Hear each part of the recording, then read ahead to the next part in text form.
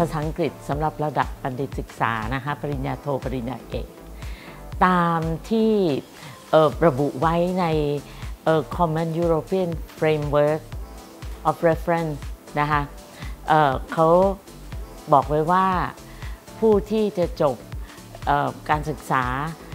ระดับปริญญาโทปริญญาเอกเนี่ยจะต้องมีความสามารถในการใช้ภาษาอังกฤษ นอกจากพูดจาโต้ตอบธรรมดาแล้วเนี่ย จะต้องสามารถพูดเกี่ยวกับเรื่องวิชาชีพ พูดเกี่ยวกับวิชาการของตัวเองได้นะคะ อันนี้เนี่ยเป็นกรอบที่กระทรวงอุดมศึกษา แล้วก็ตั้งนโยบายของชาติเอาไว้นะคะแล้วมหาวิทยาลัยรังสิตและมหาวิทยาลัยทุกมหาวิทยาลัยในประเทศไทยก็ต้องปฏิบัติตาม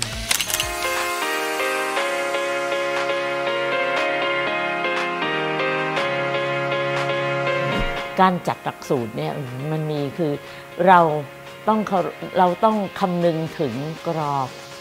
ที่รัฐบาลตั้งไว้นั่นนี่เป็นประการหนึ่ง และประการที่สองเราต้องดูระดับความสามารถของนักศึกษาด้วยนะคะมันก็จะว่าเป็นเรื่องยากมันก็ไม่ยาก แต่มันก็ไม่ใช่งานง่าย เพราะการที่เราจะช่วยพัฒนาศักยภาพของนักศึกษา ระดับที่เขา เป็นอยู่เนี่ยให้เขาถึงระดับที่ประเทศชาติต้องการเนี่ยนะคะมันก็ต้องใช้ความพยายามทั้งผู้สอนและผู้เรียนนะคะแต่ภาษาอังกฤษมันไม่ยากหรอกค่ะภาษาอังกฤษพัฒนาได้ทุกคนนะคะ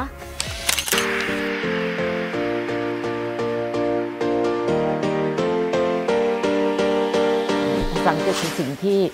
เราไม่สามารถจะเรียนได้ภายในเดือนสองเดือนนะคะเขาเป็นทักษะภาษาอังกฤษเป็นทักษะที่จะต้องพัฒนา เพราะฉะนั้นเนี่ยนักศึกษาทุกท่านนะคะในระดับปริญญาโทปริญญาเอกเนี่ยควรที่จะฝึกฝนภาษาอังกฤษตลอดเวลา พยายามอ่านพยายามฝึกทำแบบฝึกหัด และภาษาอังกฤษมันก็จะไม่ยากอย่างที่ทุกคนคิด ขอย้ำภาษาอังกฤษไม่ยากเท่าที่ทุกคนคิด ก็อยากจะขอเชิญชวนนะผู้ที่สนใจจะสมัครเรียนในระดับปริญญาโทปริญญาเอก ที่มหาวิทยาลัยรังสิตนะคะอย่าคิดเลยว่าภาษาอังกฤษเนี่ยมันยาก มันไม่ยากหรอกค่ะ แล้วทางมหาวิทยาลัยรังสิตผ่านทางสถาบันภาษาอังกฤษ เรามี